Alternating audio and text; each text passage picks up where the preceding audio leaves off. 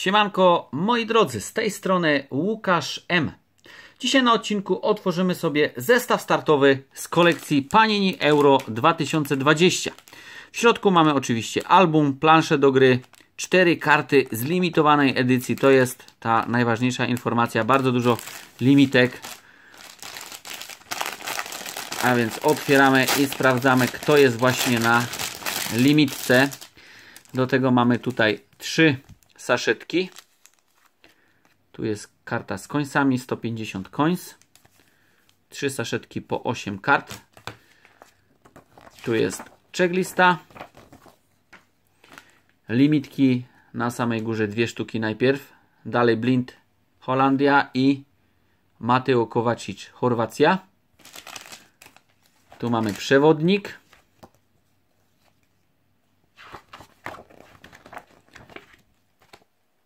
Trzecia limitka to Romelu Lukaku, Belgia. No i nie ma czwartej, czyli tą czwartą to są końsy. 150 coins to jest ta czwarta limitka. Tak to chyba właśnie wyglądało w tej kolekcji, bo niestety tutaj nie ma nic więcej. Czyli sobie zrobimy pojedynek pomiędzy tymi trzema zespołami. Belgia, Holandia i Chorwacja. Trzy saszetki.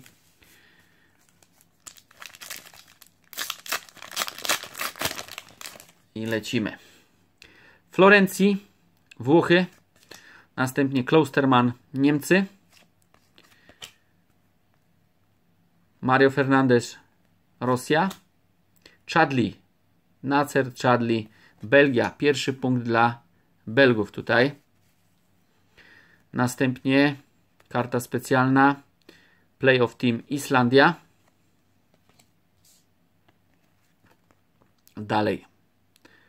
Alex Kral, Wonderkid Czechy.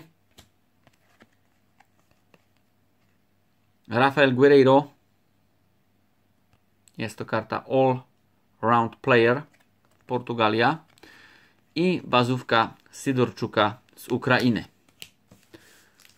Czyli na ten moment prowadzi Belgia tutaj. Druga saszetka i mamy bazówkę Karamana Turcji. Do tego Szar Szwajcaria. Dele Ali Anglia. Bernardo Silva Portugalia. Odwracamy. Finlandia Magic Moment. Kasper Schmeichel Dania. Thomas Delaney Dania. I ze Szwajcarii mamy Line Up. I trzecia, ostatnia saszetka. Arayuri, Finlandia.